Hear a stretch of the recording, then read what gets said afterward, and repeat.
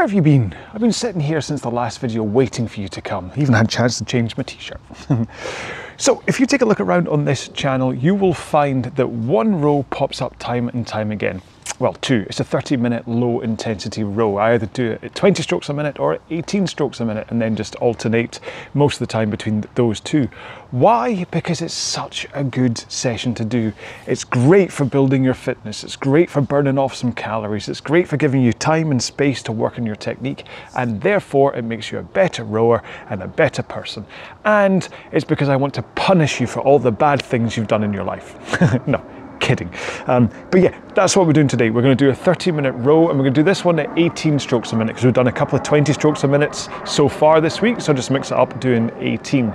And your pace, well, we're looking at round about 2K plus 20 pace. That means 20 seconds slower than your average 500 meter pace during a two kilometer time trial.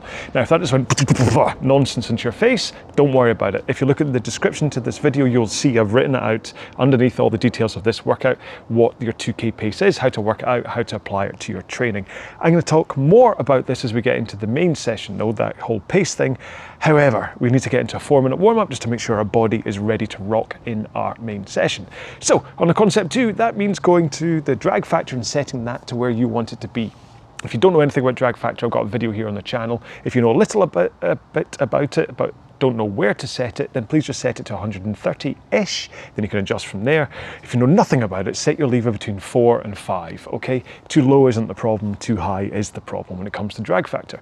If you're in a non-concept two, then what I want you to do is set the resistance or whatever you have so you get a nice feel from the stroke, you can hang off the handle, but you don't have to heave against it and tug it in order to get your machine moving. Next up, if you can, please set your monitor to eye height so you don't have to look up, you don't have to look down. And finally, if you are able to adjust your foot stretch your heights, your foot plates, set them so that as you come forwards, you can get your shins into a vertical position comfortably. Too high, it might be a bit of a struggle. Too low, you might go scooting past that uh, vertical position, and that can cause power leaks and potential injury. But it's really about the power thing, and your kind of technique starts to go a bit awry when you go past that vertical position. Okay, so we're going to do four minute warm up. We're going to start this around about 20 strokes per minute. And I just want you to think about enough of a push from your feet that you can feel the power connect into the handle. Okay, so it's not a powerful start to this warm up. It's a warm up after all. Okay, oh, look, the sun's about to come out. Got my sunglasses on just in case, but we'll see. Anyway, here we go then. So around about 20 strokes a minute in three, two, one, go. Now, if you are used to rowing my sessions, I know that the way I start these warm ups is starting to get a bit repetitive, but I want you to think about pushing with your feet at the same time your handle and your hands connect to your machine. Okay, so the whole point here is that you are pushing your feet. And that was my leg I tapped. That's not my foot. There we go. Your feet into the foot plates to generate the power. But obviously, you have to get that power into the handle. And so timing is part of that, that you make sure your handle connects to the machine at the same time your feet push into the machine. But also, if you want to have straight arms, that stops your arm muscles fighting against the power and a forwards tilt so that you are, well, tilted forwards, hence the phrase forwards tilt. And what that does is it means that your posterior chain gets activated to just pass through the power from your legs up through your body into your shoulders, your arms, hands, and the handle.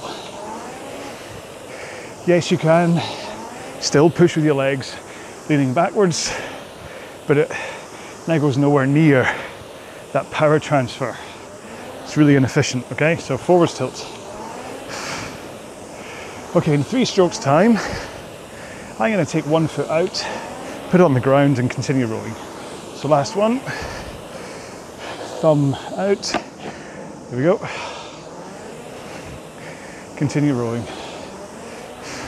So if you just push outwards on the buckle with your thumb, and then flick your toe up towards you.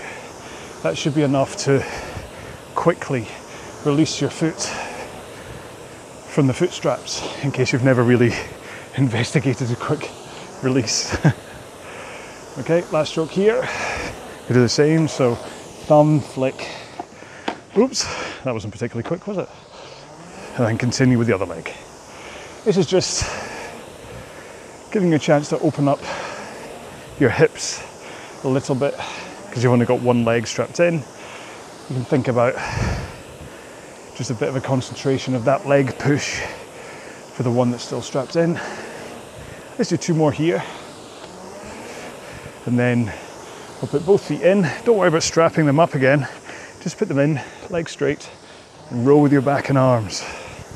So you swing over your back first, and that kind of connects, that takes the initial brace, the initial, yeah, connection of the handle to the machine. And then once your back starts to swing, that's when you pull the handle in, then release it, and then tilt back over your hips again. Okay, let's roll to the front, tighten the straps on the way, and then with arms straight and that forward tilt, just press out from the front. Really no power here, okay? Because all I want you to do is experience holding the forwards tilt and straight arms while your legs press from the front. You hold this position, this forwards tilt and arm straight. Okay, let's do two more here. And this is just the drill that you do over and over and over again if you just can't get used to holding that position. If you're an early swinger and things. Hey, swinger, I've got my keys here. Kidding, I'm not into that. No, no, no. Right. Sorry, I've completely gone away somewhere. That was our four minute warm up. Uh, should just get us ready for our low intensity main session, which I am about to describe. Okay, then, so today's main session is going to be a 30 minute row at 18 strokes a minute.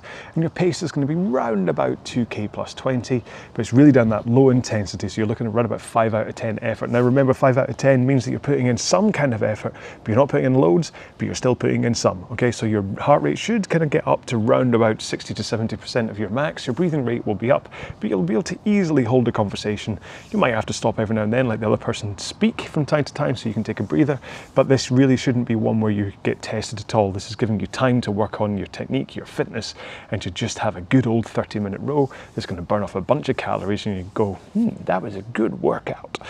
Okay, so it's half, a, half an hour straight rowing, so I'm going to have a quick drink before I get into it. It's not too warm outside today, but there's still a chance that sun comes out or just the 30 minutes worth of rowing is going to be enough to dehydrate you. So if you need to stop during the row, do stop. This isn't a time trial, it's a training thing. Right, uh, sunglasses, keep them off for the time being. Okay, here we go. Let's 18 strokes a minute. Follow me in the video for stroke rate or listen to the whoosh of my flywheel on the podcast. You should be okay. Here we go. In three, two, one, go. I don't know if you caught it but there was a giant crack of my left knee just then as I took the first stroke. this whole thing about rowing supposed to be non-impact and good for your knees. Not when that happens. but it is though. And that's one of the reasons why it's a good idea not to do that over compression into the front. You just want to come forwards so your shins are vertical and that's enough. If you over compress, into the front, then it's quite easy to get like patella tendonitis or any other knee issues, to be honest. But most of the reason I do continue the, the whole thing of shins vertical is about power leaks. Because I definitely, even the past couple of days, watching these videos that are a slightly different angle from how I normally film them. We're a bit kind of diagonal, really, aren't I? Whereas when I'm in the green screen studio, it's very much a side on affair. But I've really been able to see that although I'm getting my shins vertical as I come forwards, that little butt scoot, it's not going anywhere. It's still there. There's like a weird kind of rock forwards and backwards that my backside does if I'm not concentrating. Which obviously I'm doing right now because I'm talking to you about it, but when my concentration lapses, then that little butt scoot goes. And that's definitely the cause of at least one second pace loss for me when it comes to the faster rows. Although, one good thing that this angle revealed in yesterday's row was that as I push my feet, push with that forwards tilt and arms straight, I could actually see my backside kind of rise up, lift very slightly off the seat. Not totally, because otherwise the seat would disappear from underneath me. And trust me, you don't want to have that happen and then land on the rail. It's a very painful thing to do. But I could see that my backside was obviously lighter on the seat because there was a little sliver of light that would open up on every drive. And that's what you want. As you push your feet into the machine and you have straight arms and that forwards tilt, this whole thing of hanging off the handle, if you get it right, should feel as though your backside is a little lighter on the seat. There's a great video by the folks at Decent Rowing where it's Lachlan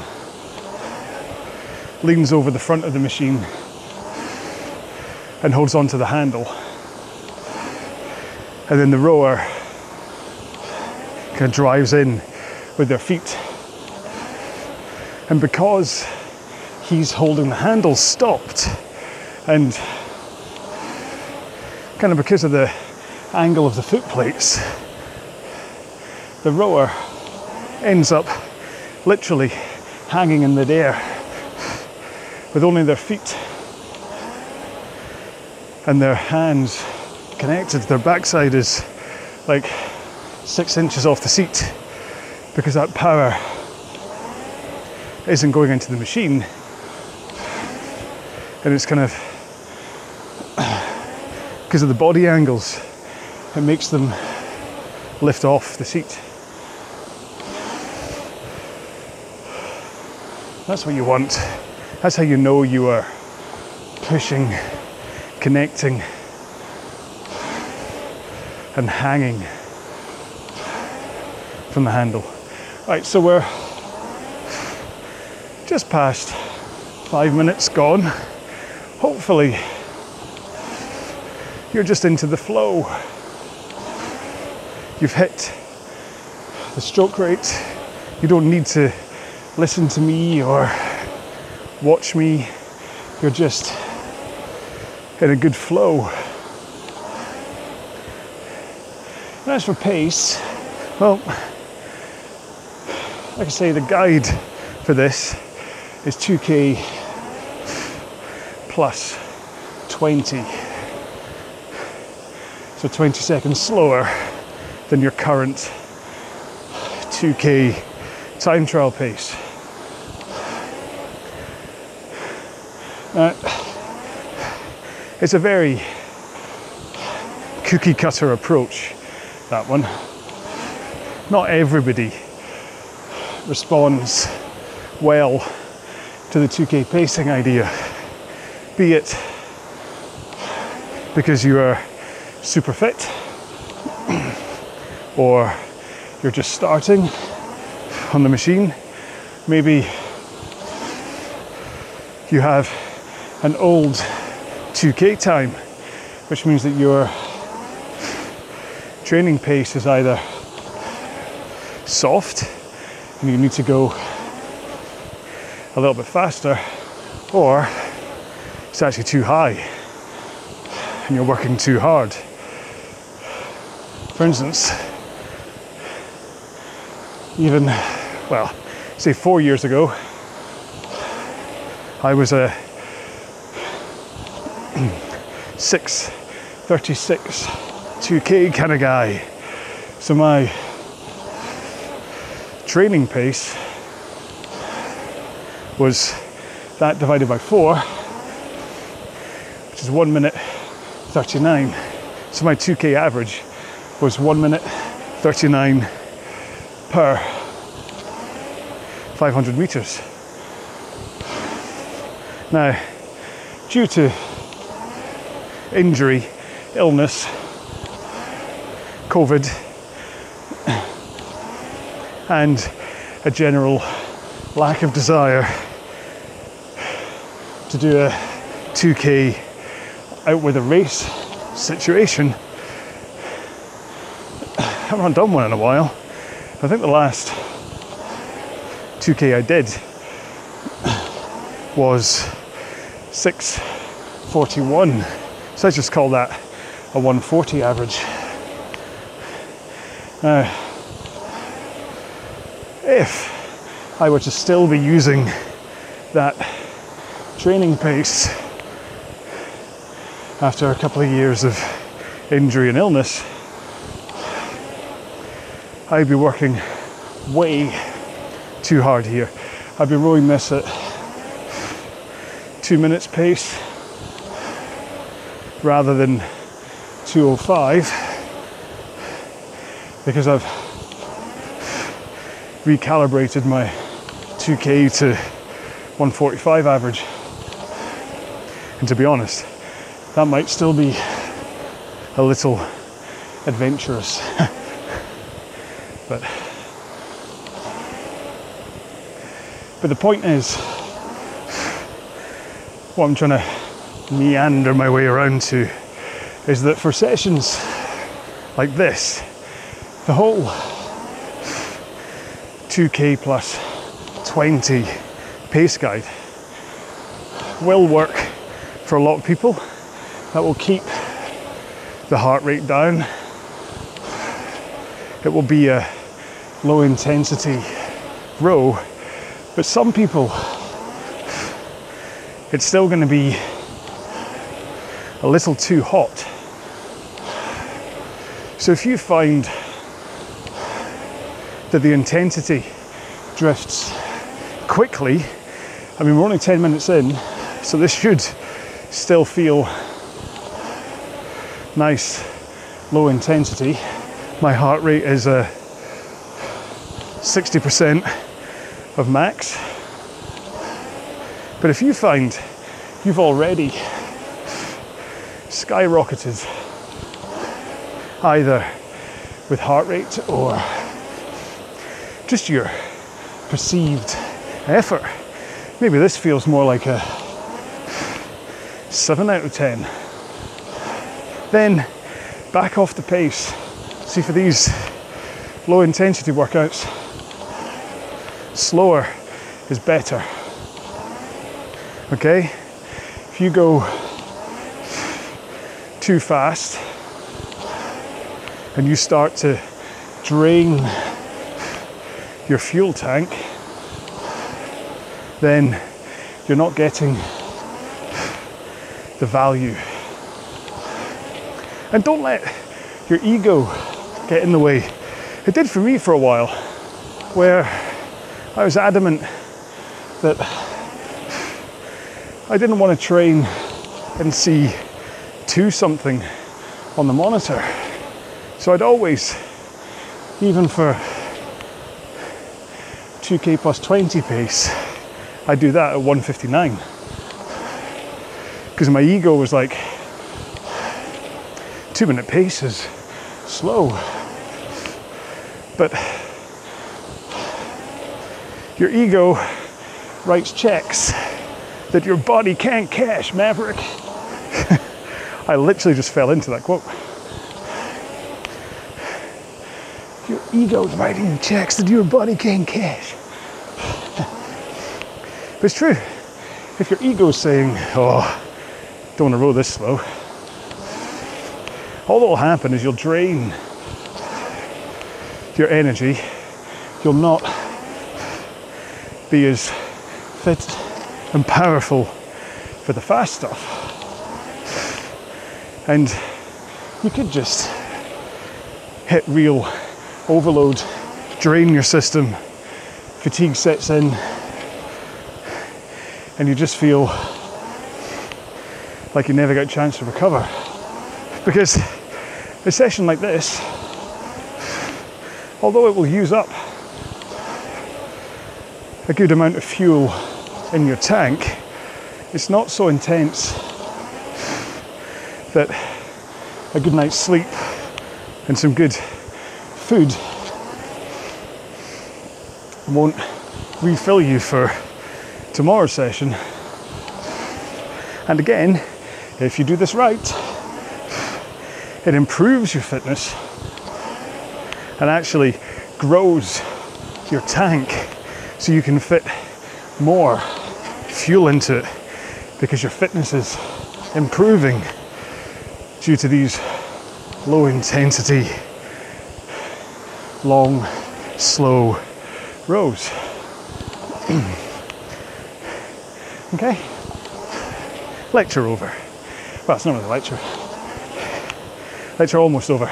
So what I'm saying is, if you feel you need to row at 2k plus 25 to keep it at a low intensity, then that's what I want you to do. Let your ego shine in the fast stuff, not for the slow stuff. So, coming up for, well, just past 14 minutes gone. My heart rate is still at 60. Even though I'm talking to you and stuff. Sun is still having moments of coming out, but it's not too bad. And even if it does, I have my secret weapon, a new row along wristband, sweatband. See, lovely white sweatband with my RA logo on it. Okay, one stroke. You ready? Sing along. Whoa, we're halfway there. Whoa, living on a prayer. But we're not living on a prayer. It should be easy.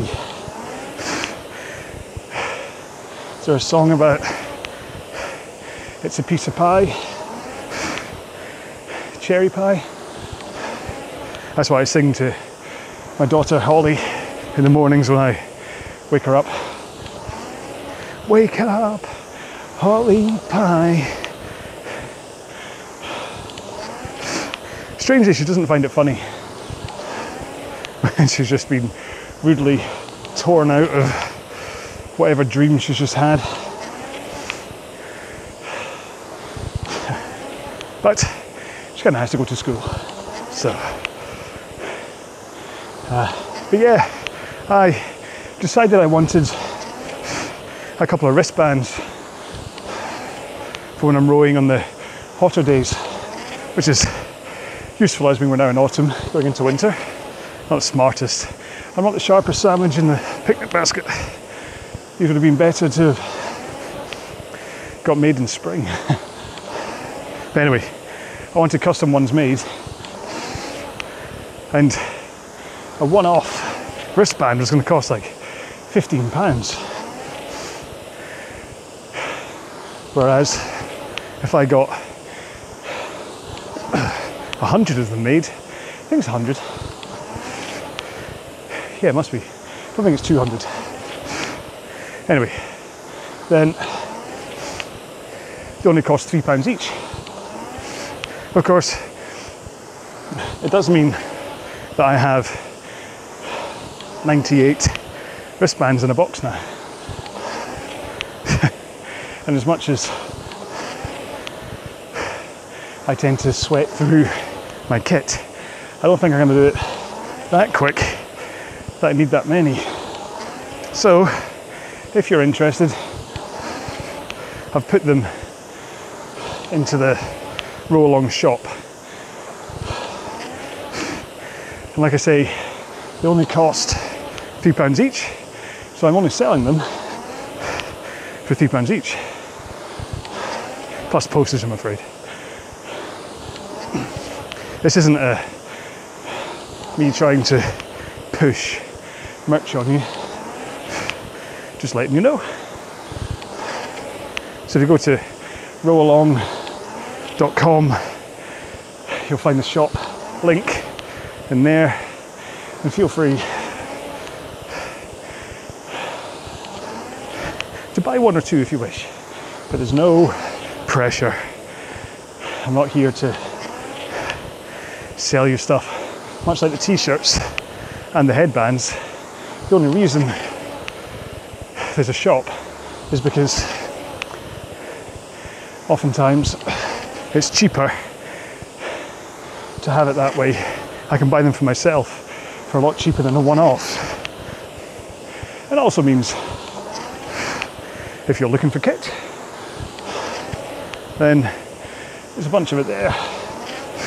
And these t shirts really are the most comfortable I've ever worn.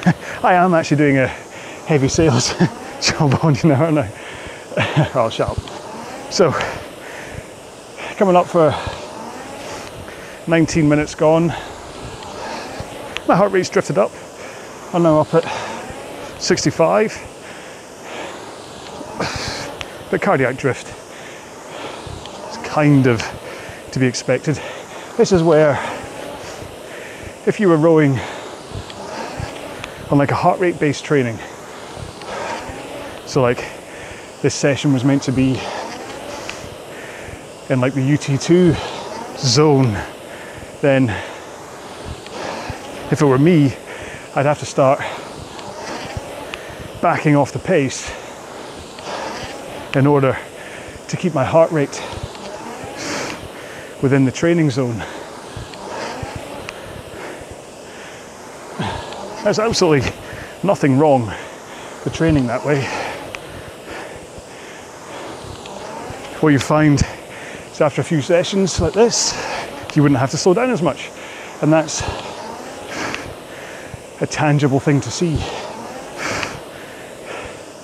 Okay, 10 minutes to go. However, I still prefer this 2k plus pacing strategy because it's, well, unforgiving really. If you get tired, fatigued, even if you're having a bad day, the numbers don't lie. 2k plus 18 is the same whether you are tired or recovered. The only thing that changes your pace is if you do another 2k time trial.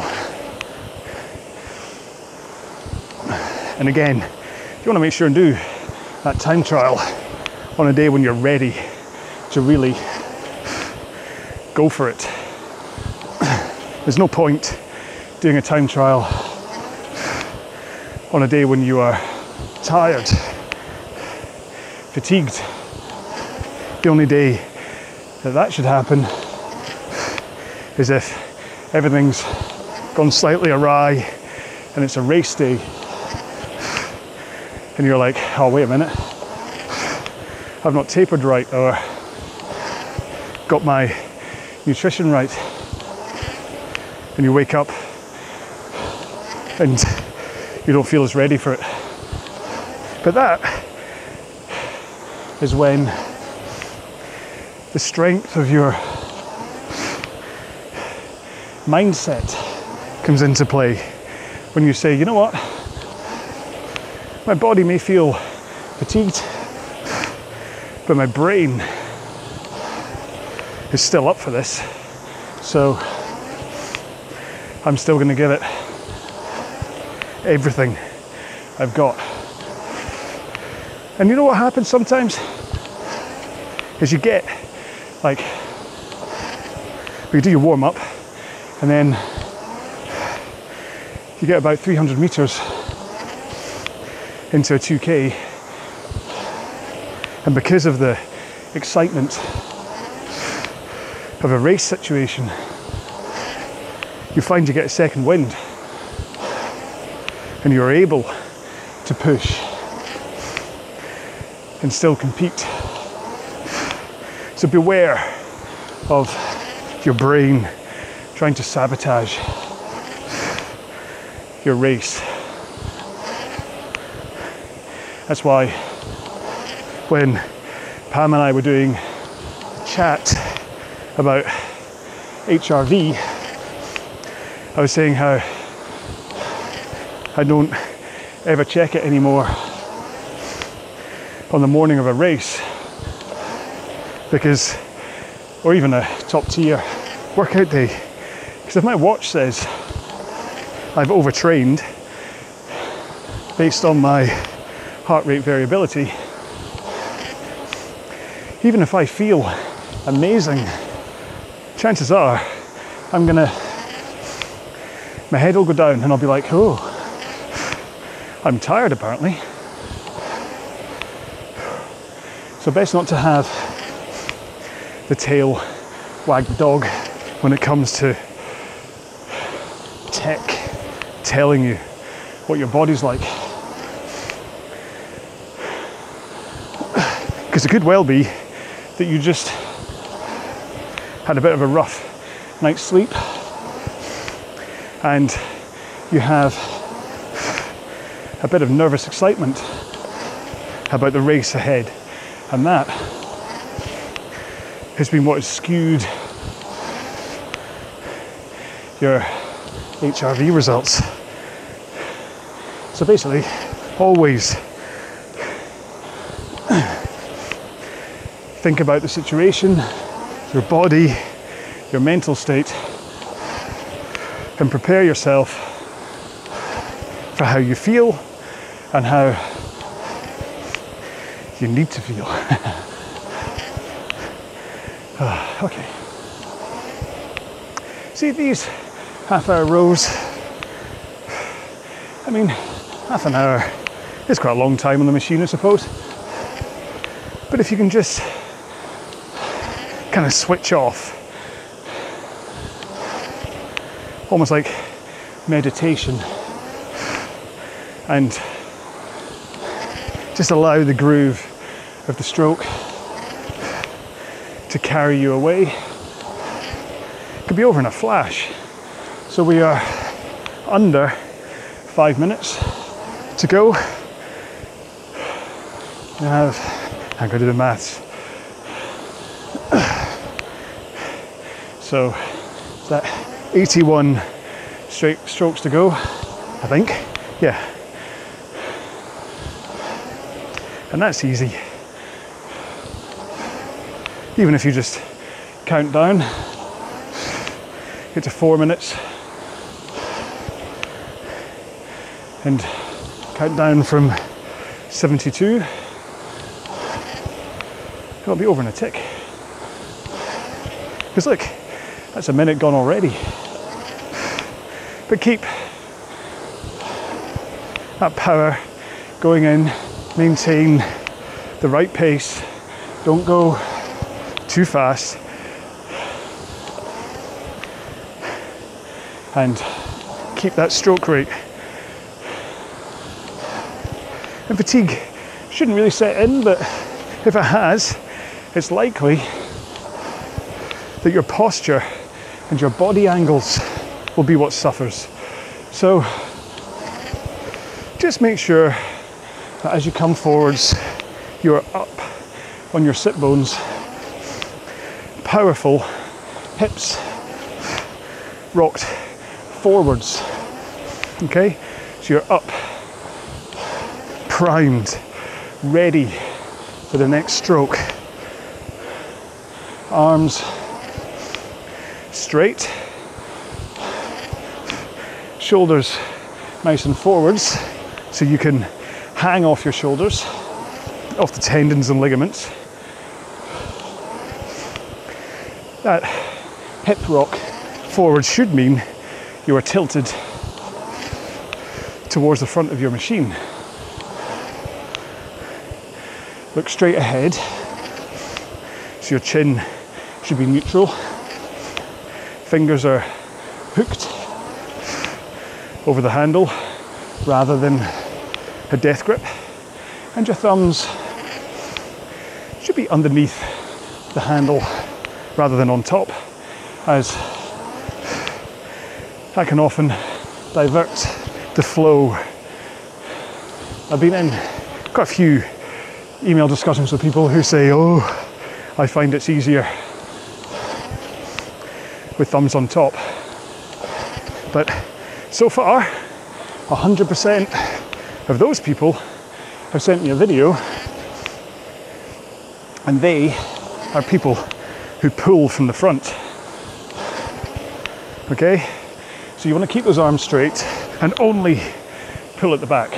So drive, pull, drive, pull. Okay? And if you're an early grabber, early puller, then you are wasting potential leg power and potential arm power. Because I have the whole distance woof, of my arms to pull at the back of the stroke because I've used my legs at the front of the stroke. And then at the finish, handle comes in to sternum height. You can hear it clicking off my heart rate monitor. So you're not finishing low into your belly button, nor are you finishing high above your sternum. Sternum height. Elbows slightly out, but behind, and that engages your lats rather than your delts and your forearms if you were to go chicken wings. Oh, slowed right down there. It's going to mess up my average. Three, two, last stroke, one. That was a good way to fill the time at the end, wasn't it? A quick chat about technique as being, apart from the warm up, I didn't say anything about technique in today's row. So, have a drink.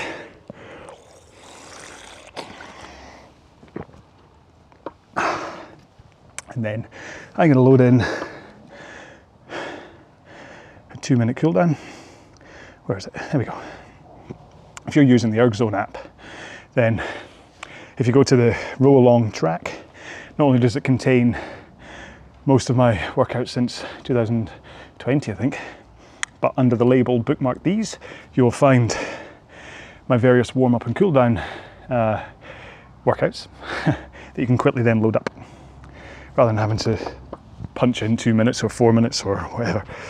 So, I'm going to do this strapless again. You can join me with strapless, but if you've never done it before, just loosen your straps so that if it goes wrong, you can catch yourself with your feet. Here we go in three, two, one. I want you to do this around about the warm up pace, okay? So you're rowing slower than you were just rowing the main session. That gives your body a chance to just recover, for it to slide into a stop instead of you working relatively hard. I mean, oh, I didn't check my final heart rate, sorry. But you don't want to be working your heart rate up and then just stop. Because your heart's got quite a long way to just fall. Falling's never good. Plummeting is even worse. so you do a cool down just to help slide yourself into neutral, but also gives you a chance to, as Gwyneth Paltrow would say, mentally decouple. Unless she's a rower, but uh, but just kind of just decouple from the concentration of holding a specific rate and pace and thinking about technique and listening to my waffle. I know the waffle continues, but and then just lets you do things like concentrate on that forwards tilt and arm straight as you push.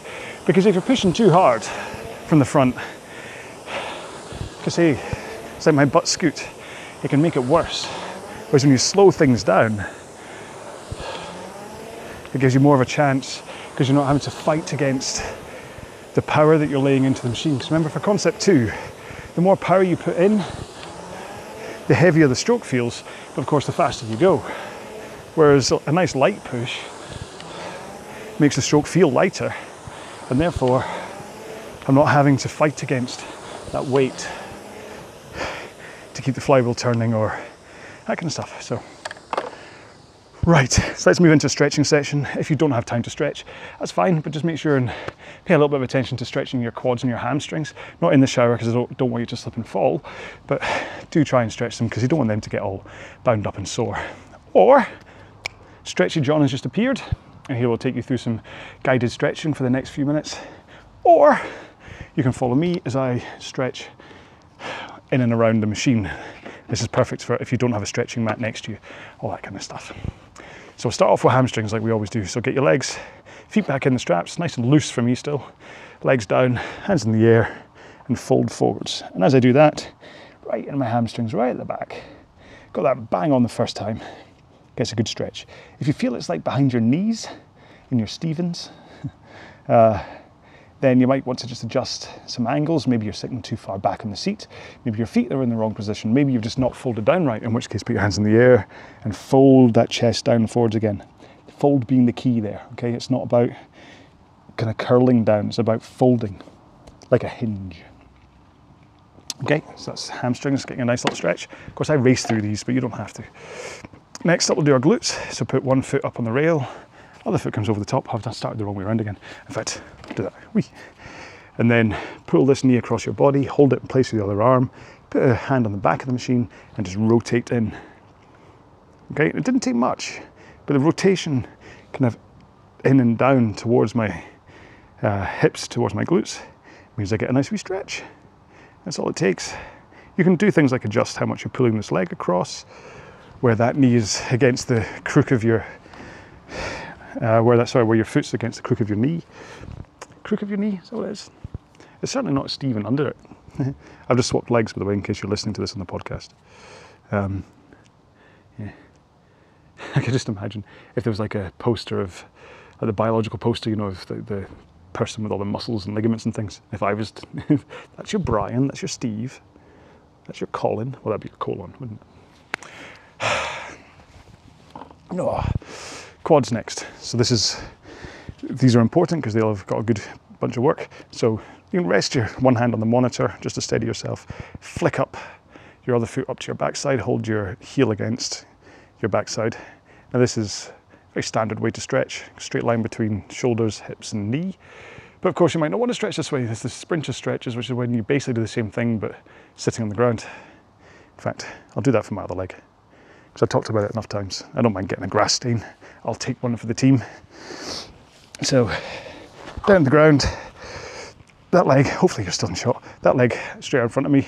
Again, this one goes against your, that part there. I'll fit my water bottles in the way. So, and then you pull again against the heel comes up to your backside. That foot is against your knee. And you want a straight line between your shoulder, your hips, and your knee. Hold that in place. And then you kind of lean back and that really does right into here. I can feel right in there now is getting a really good stretch. Actually, my shin is as well, bizarrely. I guess because that's my toes are now kind of hyperextended from being back here. So it's a really effective stretch. This is one of the stretches I used to do all the time when I was playing squash, because um, obviously that's a very quad heavy game. The downside is that if you get it wrong, A, it can be ineffective, and B, you can kind of, it's not that you can injure yourself, but you can end up quite going, well, that didn't do much, and I now feel quite sore. so, but that's a great stretch. Let me do that one from time to time, just as a reminder. Let's do our forearms next. Forearms shouldn't really have got much of a kicking there, but yeah. So, oh, come on, buddy. Oh, is my, oh, my, my wristband. So put your hands together, push them together, okay? So, uh, uh, uh, make your pecs dance, but then push your hands down. So you're still pushing them together as you bring your hands down in front of you. And that force as you're pushing your hands together should give you a nice little stretch underneath your forearms and into your wrists as well. Uh, like I say, for a workout like that, shouldn't really have been that big a issue in your forearms and wrists and things, but other ones like the maybe week four session three of the 1K plan that was about power 20 strokes a minute, that could possibly have hurt or, or put some kind of soreness into your forearms when you eventually do a 1k time trial or something, that can, because you're really kind of pulling against it quite hard to try and squeeze out power. Uh, shoulders, so hand in front of you, cross your body, and then hold it against your body, and that'll just stretch out your shoulder at the top. I still haven't, still haven't found out that lat stretch that I saw when I did the shoulders as well. Just write this stuff down. So let's have that as a hashtag to remind me. Hashtag shoulders, okay? So I like to throw out, or swap arms, I like to throw out a hashtag at the end of a video just so that I know you got this far. Um, and we'll randomly have this one as shoulders. Because hopefully then when someone posts a comment, hashtag shoulders, I'll go, oh, I've got to find out that stretch. Oh, it's lats though, isn't it? Oh, that was fine because it's all combo. It's a good thing you're not paying for this really, isn't it? okay, biceps next. So I'll sit this way, hands behind you, so you're flying. Wee, look at me, mum, I can fly. But then ro rotate your thumbs outwards, okay? And that rotation, you should feel, I mean, don't, I find myself kind of just doing that again, shrugging my shoulders up. It's all about the rotation of the thumbs, not about your shoulders going up into your ears. That should stretch, stretch your, your biceps enough. And then finally, triceps. So one hand in the air, bring it down to touch your spine, and then use your other hand to help that elbow back so that your elbow's now pointing straight up to the sky. Reach for the sky. Yeah, and that should give your tricep a wee stretch. Getting your triceps, if you end up with really sore triceps, then chances are it's that on your return, when you release the handle, you're really tensing and you're kind of come forward and you're rigid.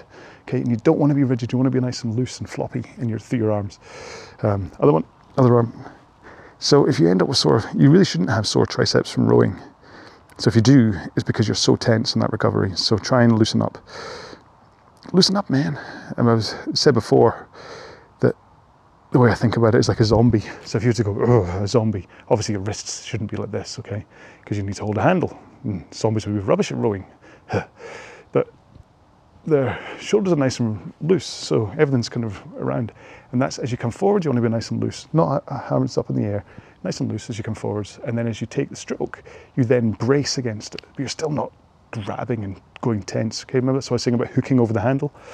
Is that you hook and that kind of helps that straight line. The moment you tense, everything comes, yeah, you think it'd help. You would, wouldn't you? You think that by being rigid, hey, that's going to help. But it doesn't. Stay loose, let that power just go straight through, and life is a lot easier, or your rowing's a lot easier. Maybe not life, that is a lot harder because you're rowing really hard.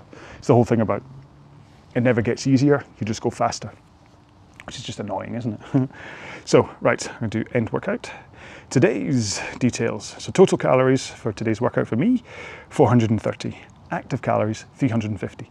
But that's still a nice big cookie uh, if I was to eat one. Uh, but then what it means is I can go and have a nice uh, my chicken noodles for lunch, a couple of protein shakes throughout the day. My I've got a, I've got a shake that I really need to make for you. this green thing that I make that's actually not the most tastiest thing in the world, but it's got like hemp, spirulina, and all this kind of stuff in it that's really good for you. But it's you, you can tell it's good for you because it tastes just questionable. anyway, so that's what I yeah. Anyway, I'm rambling, so I should really stop, shouldn't I? Um, yeah, that's it. So we were done. That's week four, session four. So week four, session five of the 1K plan naturally follows. Oh, it's like maths. And that's uh, going to be a good old tough one. Okay, so this is going to be a great way to finish the, the week and kind of we've been leading up to kind of doing this kind of a session. And then next week is going to be about just kind of refining little parts um, and then session I think session five of next week is then some kind of big blowout row, okay, whether that's your 1K row or something else, it's up to you, but that's what's in store next week, all right? So thank you so much for being part of this one, whether this was just a standalone row or whether you are part of the 1K plan. I do hope you enjoyed it. Let's hope so. Let's hope I can continue to row outside, that the weather continues to be nice enough for me to do this, because if nothing else, see for post-production, it's so much easier to put this together than having to deal with the green screen and, uh, and think of a background to put in and whatever. Sorry if I've just spoiled the magic. This isn't a green screen, this is real. This, this, yeah. But yeah. Anyway, so thank you so much for being part of this one. I will see you in one of the next videos, whether that's week four, session five, or one of the myriad other ones I have up here on the channel. I look forward to seeing you in that one. Until then, take care, be well, bye-bye.